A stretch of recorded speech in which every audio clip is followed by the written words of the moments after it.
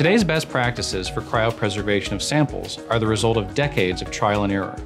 Since early false beliefs that all cells could be preserved using the same methods, we've learned the key to successful cryostorage matching the composition of your sample to the optimal cooling speed.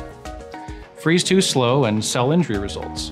Freeze too fast, and the formation of intracellular ice can devastate your cell culture's viability. Cooling rates will vary dramatically between sample types, for example, red blood cells and human embryonic stem cells.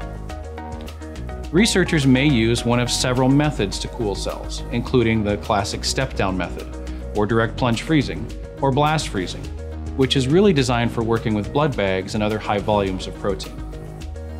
These methods, while they have their uses, are not without risk, often optimized for speed rather than cell viability. But controlled rate freezing through a mechanical programmable freezer has many applications in cell culture work, including biobanking, IVF, and cord blood research. It also creates the paper trail for clinical labs concerned with accreditation compliance.